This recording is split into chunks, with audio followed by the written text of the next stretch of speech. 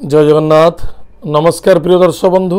ମୁଁ ଜ୍ୟୋତିଷାଚାର୍ଯ୍ୟ ପ୍ରମୋଦ କୁମାର ପଣ୍ଡା ଆପଣମାନଙ୍କୁ ସ୍ୱାଗତ କରୁଛି ଆପଣମାନଙ୍କର ପ୍ରିୟ ଚ୍ୟାନେଲ ଆଷ୍ଟ୍ରୋ କଲ୍ୟାଣ ଚ୍ୟାନେଲକୁ ପ୍ରିୟ ଦର୍ଶକ ବନ୍ଧୁ ଆଜି ଆମେ ଚର୍ଚ୍ଚା କରିବା ଆମର ସଫଳତା ପାଇଁ।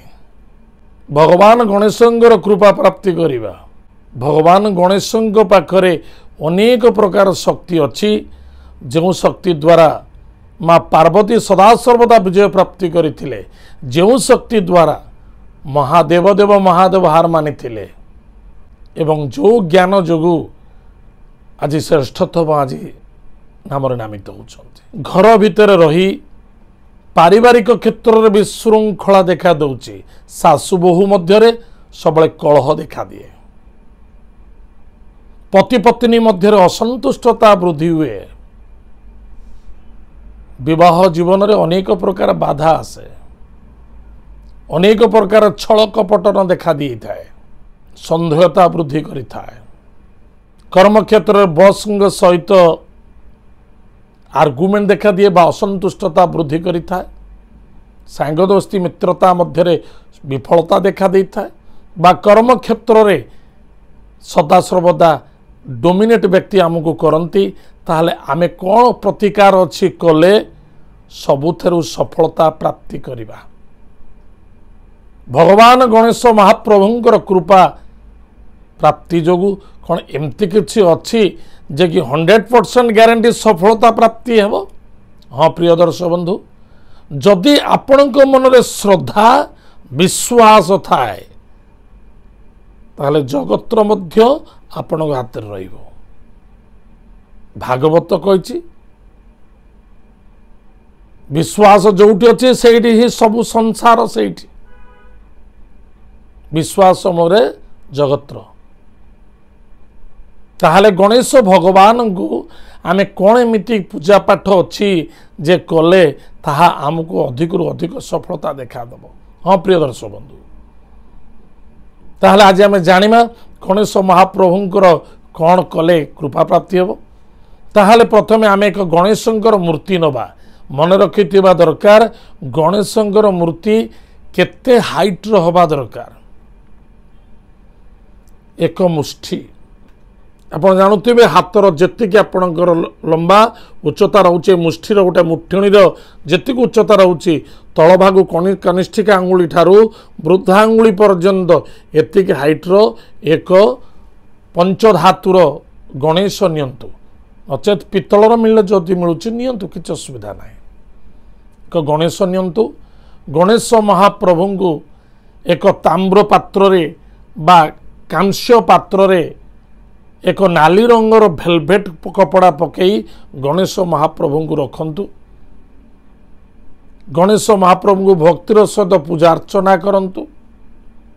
ପୂଜା ଅର୍ଚ୍ଚନା କରିସାରିଲା ପରେ କିଛି ସିନ୍ଦୁର ନିଅନ୍ତୁ।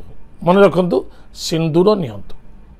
ସିନ୍ଦୁରକୁ ପାଖେ ରଖନ୍ତୁ ଯେଉଁ ସିନ୍ଦୁରକୁ ପ୍ରତ୍ୟେକ ଦିନ ଆପଣ ମସ୍ତକରେ ଧାରଣ କରିବେ ଭଲ ସିନ୍ଦୁର ନିଅନ୍ତୁ। ସିନ୍ଦୁର ରଖନ୍ତୁ ସିନ୍ଦୁରକୁ ଅନାମିକା ଏବଂ ବୃଦ୍ଧା ଅଙ୍ଗୁଳିରେ ସିନ୍ଦୁରକୁ ଧରିବେ। ଗୋଟେ ମନ୍ତ୍ର ମନେ ରଖିଥାନ୍ତୁ।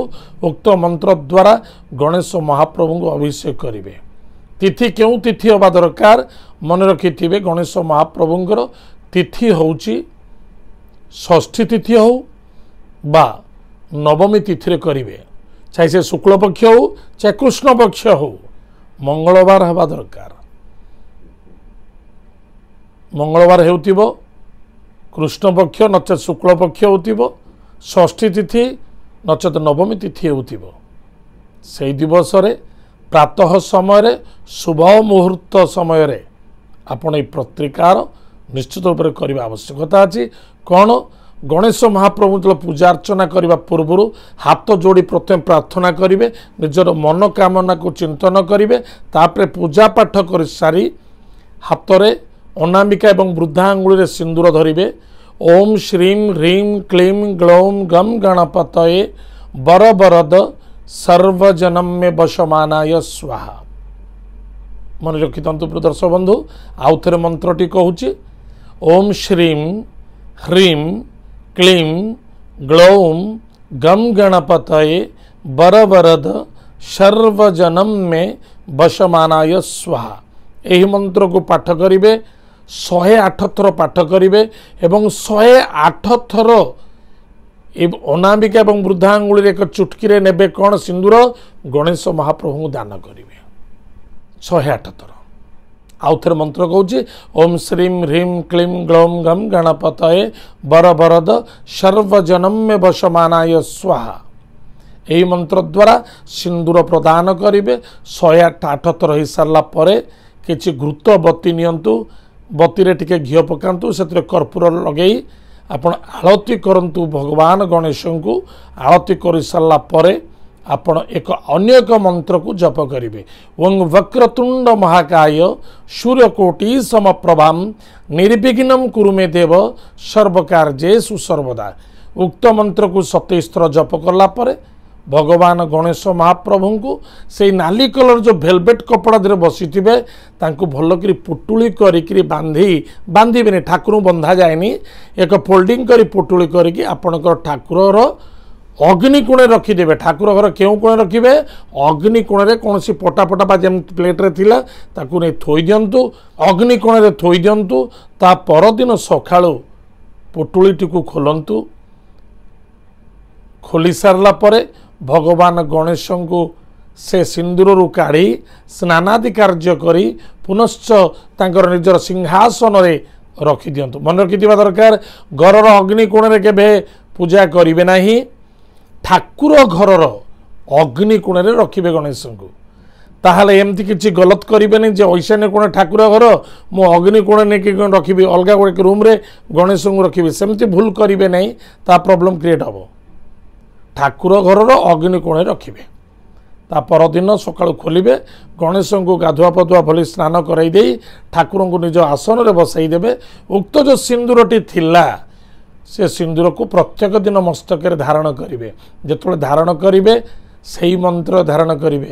ଓମ୍ ଶ୍ରୀମ୍ ହ୍ରିମ୍ କ୍ଲିମ୍ ଗ୍ଲୌମ୍ ଗମ୍ ଗଣପତଏ ବରବରଦ ସର୍ବଜନମ୍ୟ ବସମାନାୟ ସ୍ୱାହା। ଏହି ମନ୍ତ୍ରରେ ମସ୍ତକରେ ଟୀକା ଧାରଣ କରିବେ। ନିଶ୍ଚିତ ରୂପରେ କାର୍ଯ୍ୟରେ ସଫଳତା ହେବ। ମନର କାମନା ନିଶ୍ଚିତ ରୂପରେ ପରିପୂର୍ଣ୍ଣତା ପ୍ରାପ୍ତି ହେବ। ତାହେଲେ ପ୍ରିୟ ଦର୍ଶକ ବନ୍ଧୁ ଆମେ ସମସ୍ତେ କରିବା। ସମସ୍ତେ ସୁଖରେ ରହିବା ସମସ୍ତେ ଶାନ୍ତିରେ ରହିବା ଏହା ଆମର ଆଶା ଏବଂ ବିଶ୍ୱାସ। ପ୍ରିୟ ଦର୍ଶକ ବନ୍ଧୁ ଆଜି ତ ସମୟ ଯାଇଛି ଆମର କାର୍ଯ୍ୟକ୍ରମକୁ ଆମେ ଏଇଠି ରଖୁଛୁ। ପୁଣି ଦେଖାବା ଆଗାମୀ ମଧ୍ୟରେ ଜୟ ଜଗନ୍ନାଥ। ନମସ୍କାର।